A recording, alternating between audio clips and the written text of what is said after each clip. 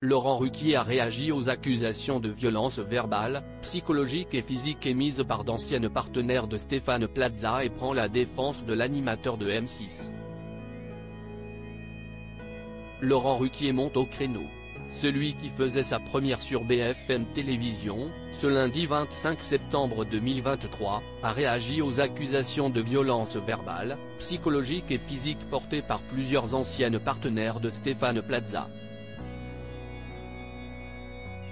L'animateur de Maison à vendre sur M6, est aussi un collaborateur régulier de Laurent Ruquier. Il participe par exemple souvent aux grosses têtes, sur RTL et est l'un des rôles principaux de la pièce de théâtre Un couple magique, signée de la main du compagnon d'Hugo Manos. Je prends toujours ce genre de choses avec beaucoup de pincettes.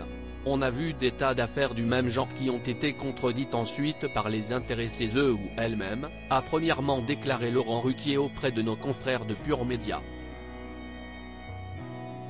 Comme point Stéphane Plaza toujours bienvenu aux grosses têtes le présentateur de 60 ans, a poursuivi en prenant la défense de Stéphane Plaza, il faut laisser Stéphane tranquille pour qu'il puisse se défendre de ses accusations.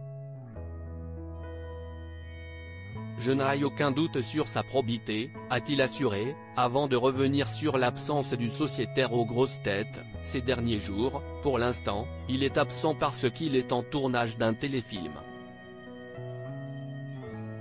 S'il en a envie, il sera le bienvenu, a-t-il promis. Stéphane Plaza est effectivement occupé par la captation d'une fiction intitulée En cavale, pour M6.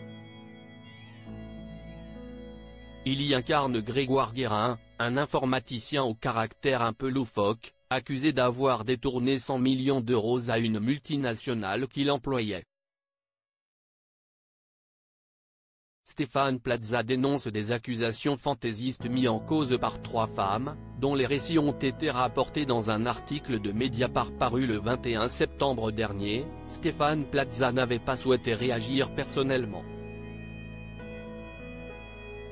En revanche, son avocate Hélène Plumet, a, elle, dénoncé des allégations totalement extrapolées, voire mensongères et des accusations fantaisistes, expliquant aussi que les trois personnes ayant témoigné sont toutes d'anciennes fréquentations de l'animateur qui l'a finalement éconduite et qui se sont liguées contre lui pour lui porter préjudice par tous les moyens.